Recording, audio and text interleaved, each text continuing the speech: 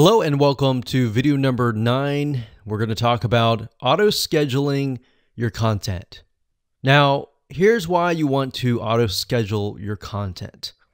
As you begin to create more and more content, a lot of times you can create just using this method of simplified images with motivational quotes or words, you can create content at a very, very fast rate. And you could either do it yourself or you could hire somebody and tell them, hey, I want you to go ahead and create maybe 365 days worth of content and pay them a couple hundred bucks. But then you're left with so many pieces of content that you need to auto schedule. So, as you can imagine, auto scheduling is important to make your life a lot easier. But it's not just that. As you are aware of social media sites like Pinterest, like Facebook, Instagram, and more, these sites like to see you publish daily or on a consistent basis. And not just that, as you can imagine, your audience that comes to follow you, they're looking to hear from you on a day to day basis. So, what ends up happening is it's a win win situation. You're winning by saving a lot of time on your end.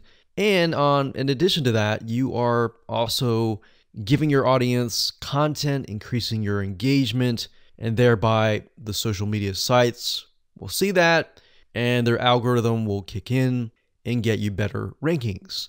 So, what kind of tools can you use? Well, let's talk about that right now. Okay, so over the years, we have tested many, many different social media management tools, and we've really come down to these few tools. Now, bear in mind that uh, different social media management tools will oftentimes specialize in different social media sites. Some will have some, some will have others, and some will not have others. So that just keep that in mind there. Hootsuite.com is one of the really good platforms for not only social media management, but for bulk auto posting. In fact, uh, you can use their what we call bulk composer to create a CSV file of all the content and all the posts that you want to create. You simply upload that to Hootsuite and it'll auto post to your social media sites. In fact, if you want to take a look at it closer, if you go to hootsuite.com and under platform, you go to scheduling.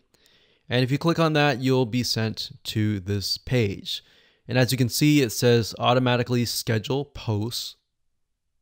And you can keep that active. So you can upload and schedule hundreds of messages at once. And this is really nice to have access to.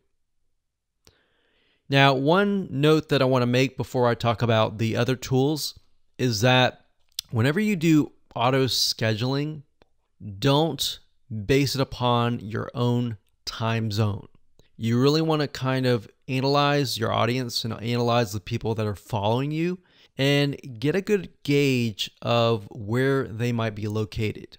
Now, that might be hard because some people are located everywhere, but you want to get a generic or gener- general idea of where most people are located. So if you can hit that sweet spot where most people are up and awake and then auto schedule it to release at that moment, you're most likely going to get more engagement.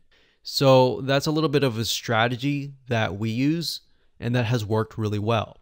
So just keep that in mind when you do any type of auto scheduling or even manually posting is to figure out when people are highly engaged and what time zone that might be. So the next tool is going to be mavsocial.com. That's M A V social.com. So this is a really good tool that allows you to auto schedule your content. So if we scroll down about uh, one fourth of the page, you can see here it says easily schedule and automate your posts. there's a huge amount of platforms out there that allow you to schedule and automate your posts, but we really came down to these few. So that's the second one. And of course, the third one that you can check out is later.com. That's L A T E Now, you will notice, like I said, some auto scheduling tools will focus and specialize in different social media platforms. And later.com, in this case, is specifically focused on Instagram.